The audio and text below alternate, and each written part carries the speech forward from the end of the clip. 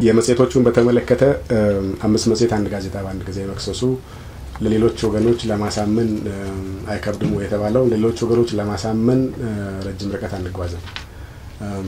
ሊያምኑ የማይፈቅዱ ሌሎች ወገኖች ስላሉ ሊያምኑ የማይፈቅዱ ሳይሆን የሁኔታ እንዲፈጠርም አቅደው የሚሰሩ ሌሎች ወገኖች ስላሉ ሌሎች ወገኖች የሚባሉት እነዚያ ወገኖች ከሆኑ እነሱን ለማሳመን ከመንገዱ ወጥቶ መሄድ አይጠበቅበትም። መንግስት መንግስት የሚጠበቅበት ከመንገዱ ወጥቶ ሰላምና የዜጎቹን ደህንነት ማረጋገጥ ነው።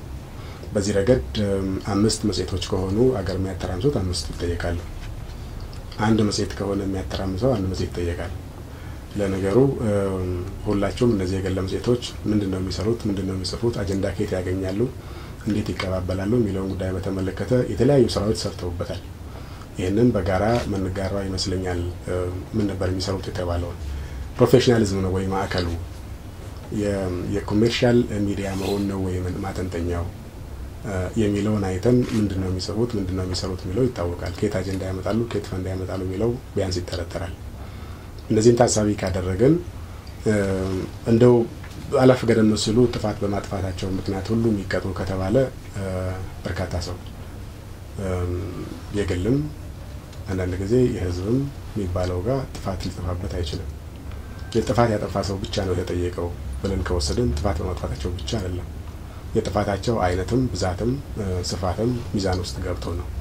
ይህን ለማድረግ ደግሞ መንግስት በተደጋጋሚ ማሳሰቢያዎች፣ ማስተባበያዎች፣ ተግሳጾች አልሰጠም ወይ የሚለውን ደግሞ እንደገና ማየት ነው። አሁንም በእያንዳንዱ ጥፋት ልክ እርምጃ ይወሰድ ከተባለ በርከት ያሉቱ ያልተጠየቁቱ አሁንም መጠየቅ የሚችሉበት እድል አለው። ወደዚያ አልተካሄደም። ነገር ግን ሰዎች መማር አለባቸው እና ህግ ደግሞ መከበር አለበት። ይሄ መንግስት ወደ ሰፊነት የሚባለውን ገደቡን ሲያልፍ ወደ ሰፊነት መሆኑ ይቀርና ተጠያቂነት ያስከትላል። ኃላፊነትን አለመወጣት የሚባል ጉዳይም ያስከትላል። ከዚህ ጋር ተያይዞ የተወሰደ እርምጃ አለ።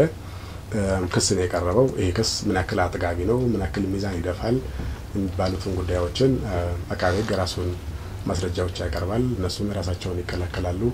ዳኞች መዝነው ካጠገባቸው ካረካቸው አቋማቸውን ያስቀምጣሉ ማለት ነው። አቋሙ ቅጣት ከሆነ የቀጡትን ቅጣት እናያለን።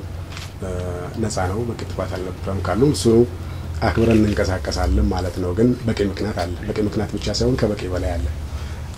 ከበቂ በላይ ያለ ብቻ ሳይሆን እንደዚህ አይነት ተመሳሳይ ጥፋት ይፈልግባቸው ተብሎ ቢወሰድ ወይም በጥፋታቸው ልክ እያንዳንዳቸው በሰልፍ ይጠየቁ ከተባለ በርካታ አሁን ያልተጠየቁትንም መጠየቅ የሚቻልበት እድል እንዳለ ሁላችሁም የምታስታውሉት ይመስለኛል።